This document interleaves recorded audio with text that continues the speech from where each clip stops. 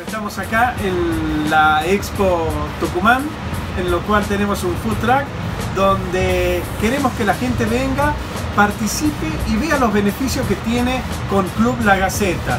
Nosotros eh, en este momento estamos vendiendo lo que son sándwiches de hamburguesas y de matambre.